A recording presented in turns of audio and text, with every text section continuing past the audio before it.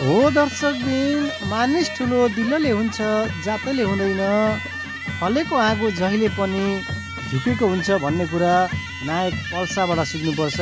देख्न सक्नुहुन्छ पल्सा यति ठुलो सुपरस्टार भएर पनि एउटा साधारण सिम्पल बिहेमा आएर नाच गर्नुभएको छ डान्स गर्नुभएको छ आफ- आफ्नो नृत्य देखाउनु भएको छ। नमस्ते म जिएम महेन्द्र ढकाल र तपाईँहरू हेर्दै हुनुहुन्छ युनिक च्यानल वान। देख्न सक्नुहुन्छ पल्सामा कति पनि घमण्ड छैन।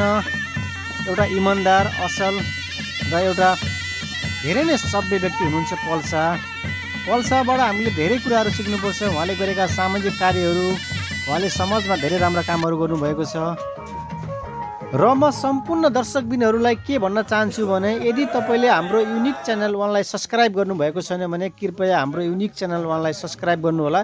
किनकि हामीले यस्तै यस्तै जानकारीमूलक भिडियोहरू लिएर हजुरसम्म आउनेछौँ जसले गर्दा हजुरलाई धेरै कुराको नलेज हुनेछ र हामीले सम्पूर्ण पल्सा सम्बन्धित भिडियोहरू blog video journey video education video knowledge भिडियोहरू न्युज भिडियोहरू लिएर हजुरसम्म आउनेछौँ।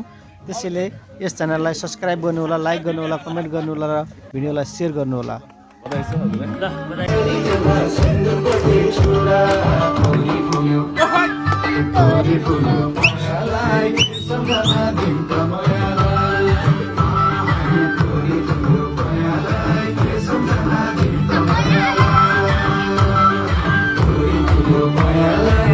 सम्झना